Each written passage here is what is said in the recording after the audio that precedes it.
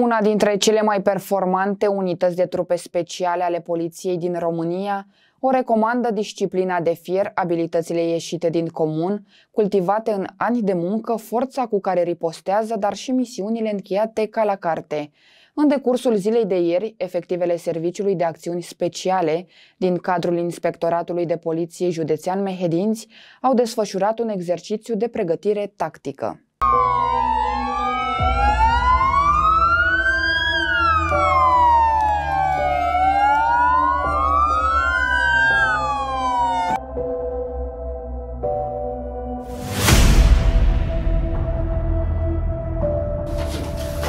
媳妇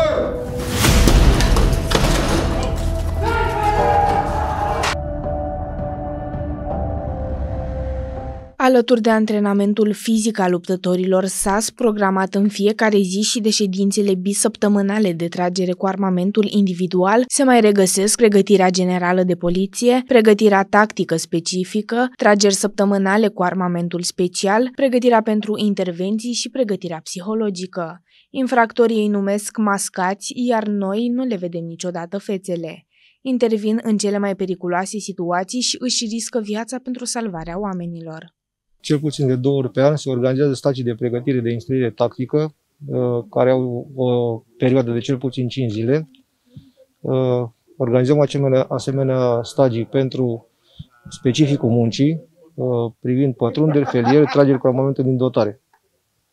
Vorbind despre armament din dotare, înțeleg că în ultima perioadă ați primit și echipamente care să vă ajute să vă desfășurați munca din teren. Da, în ultimii 1-2 ani am primit atât echipamente Uh, de protecție balistică, scuturi, uh, căști de protecție balistică, cât și îmbrăcămintea adecvată acestui specific al muncii.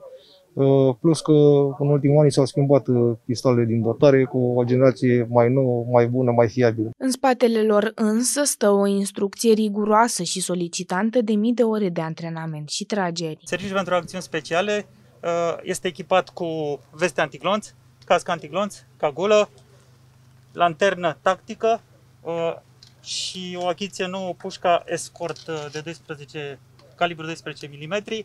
De asemenea, mai avem în, uh, în mașină un scut antiglonț, un clește pentru deschiderea ușilor. De asemenea, fiecare luptător este echipat cu pistol Glock 17 și muniția aferentă. Ce înseamnă pentru noastră aceste echipamente noi cât vă ajută în misiunile de zi cu zi? Echipamentele pe care noi le portăm zilnic la toate acțiunile pe care le efectuăm sunt extrem de importante. Atât că ne protejează pe noi, cât și pe cei de acasă. Uh, noi muncim pentru cetățean. Cetățeanul trebuie să înțeleagă că atunci când noi intervenim, facem tot efortul posibil ca toate acțiunile să fie duse la bun sfârșit. De asemenea, luptătorii SAS au în echipa lor și un canin. Pregătirea lui presupune antrenamente tactice împreună cu echipa de polițiști ai Serviciului de Acțiuni Speciale, precum și antrenamente de menținere a masii musculare, sărituri peste obstacole și exerciții de tresaj canin. Există foarte multă importanță. Uh, trebuie să facem undeva la 2-3 ore de antrenament în fiecare zi.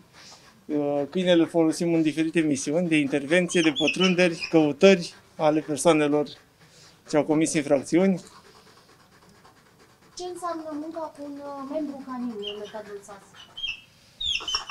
Uh, membru canin pentru mine, care sunt conductorul lui, are și uh, este ca un copil pentru mine și îi acord toată importanța, îl antrenez în fiecare zi, îl am de aproximativ 3 ani de zile și ne facem munca împreună se poate spune că este un alt membru al echipei dumneavoastră? Cu siguranță, e mai mult decât un membru, face parte din familia noastră. În antrenamente lucrează după scenarii reale, utilizând tactici bine analizate dinainte, fiind pregătiți pentru orice situație din teren. Au specialiști în dezamorsare de explozibil, dar și o echipă canină de top.